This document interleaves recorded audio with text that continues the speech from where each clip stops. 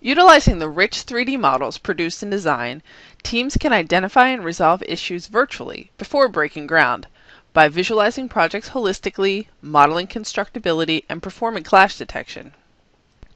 Navisworks Simulate and Navisworks Manage can use model data from Civil 3D, aggregated with information from other sources, to help engineers minimize costly errors by performing simulations and analysis before construction begins.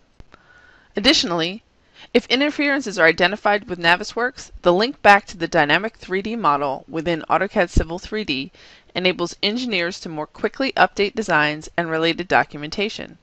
With improved coordination between designers and construction teams, the volume of time and cost intensive change orders may be reduced. When it is time to break ground, enhanced 3D models can be used to sequence construction activities and guide construction equipment. With help from Autodesk Navisworks products, project engineers can visualize 4D sequencing to help improve staging and scheduling and to better direct field teams. This can help speed project completion by reducing idle time for workers while helping to better predict leasing, maintenance, and fuel cost for construction equipment.